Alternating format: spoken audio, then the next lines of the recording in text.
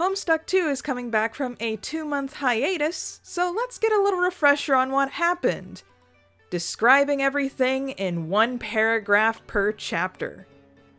For the most part. Chapter 8 was a doozy. Let's get started.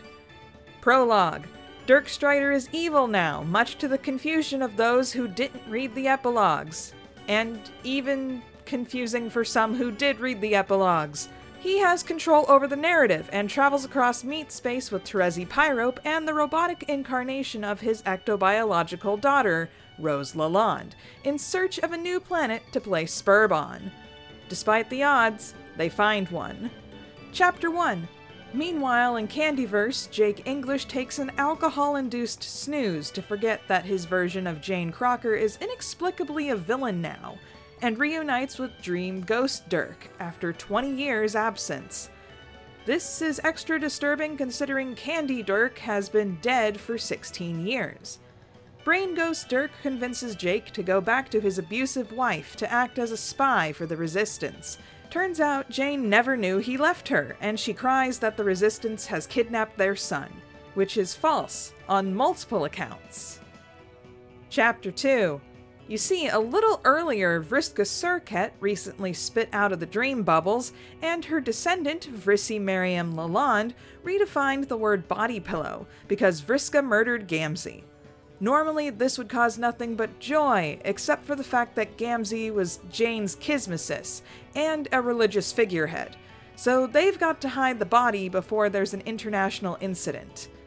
Vrissy's hate boyfriend Tavros Crocker English is more than happy to give them a lift to the high school of Vrissy's other boyfriend, Harry Anderson Egbert, who says he has a plan. It's just too bad Harry Anderson can't tell when his girlfriend is being serious. That beautiful idiot.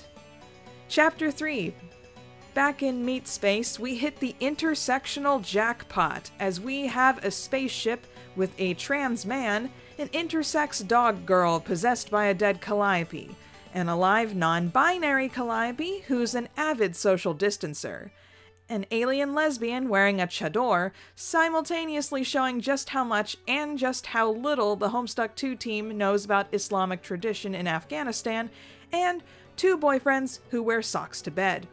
Too bad Kanaya's sad, but at least there's pancakes. Chapter 4 Dirk and Rosebot are suckers for philosophy, so they make their base in a cave on the newly named planet Deltritus. Hmm. This father daughter duo decide to play a competitive game of Spore to determine whose species becomes the Sburb player species. Terezi, the blind troll, decides to explore the alien landscape. Chapter 5 Did you want Rose Resi? No? Too bad, chumps. Chapter 6 Dead Tear Calliope likes pulpy orange juice and says that she can only possess Jade for some reason. She proceeds to call Jade a slut, so Jade threatens to eat chocolate until Calliope F's off. And now let us take a moment to appreciate the first sound page of Homestuck 2.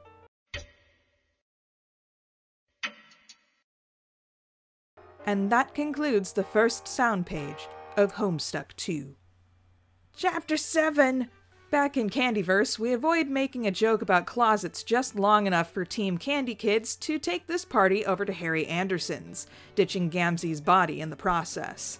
Meanwhile, Karkat, Big Boss Vantas, and an alive Meenah Peixes look over the chaos of the battlefield. And the chaos of Troll Twitter as they find out that Vriska is screwing things up again. Harry Anderson comes home in time to see his mom and dad having their first heart to heart since he was conceived, and manages to get both to leave the house in order for his friends to sneak inside his bastion of theater kiddom. Also, John Egbert cannot be happier to be plot relevant again. Chapter 8 Jane plays the pronoun game and decides to seek revenge against the Resistance through kidnapping. Surprise, surprise, Vriska thinks the Candy Kids suck, and Vrissy wants Vriska Senpai to acknowledge her. The kids get way in over their heads as Vriska physically attacks both the media and Jane's assassins in one terribly paced word dump in order for the kids to escape to the bell tower, where they meet up with Kanaya, Rose, Jade, and John in a crop top. Jade and Rose reveal that in a long string of terrible decisions, Jade had the balls to have Rose be the surrogate mother for their secret Helltaker OC, who's named something that makes her very difficult to Google search, so they'll probably change her name soon. And Rose had the metaphorical balls not to tell Kanaya anything. Kanaya hides her rage under a layer of ice so cold it makes the Antarctic look like a tropical jungle. Don't know why she's so mad. This is the closest Candy Rose has gotten to her original characterization. Chapter 9 Jane struggles with writing a eulogy for her Kismesis, and Jake can't tell the difference between cultural discrimination and racism. Jane has dog slash kidnapped Yiffy Harley Lalonde in revenge and put a shock collar on her for maximum shock value. The other Candy kids have hilarious Pester Chum handles, and they don't give a crap that Dave is missing. And Chapter 10 Back in Meat Space, Terezi wakes up to reveal that Deltritus has native non sentient Ents.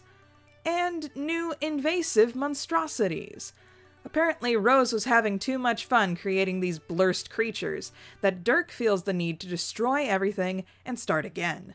The fact that Dirk might just flood the planet to destroy undesirables is ironic for Homestuck reasons and theological reasons. And that's what happened last time in Homestuck 2. Hey there. Consider becoming a patron, just like the phenomenal Bleed Red, Alexander Madeline, Uranium Coffee, and Ryan Nelson.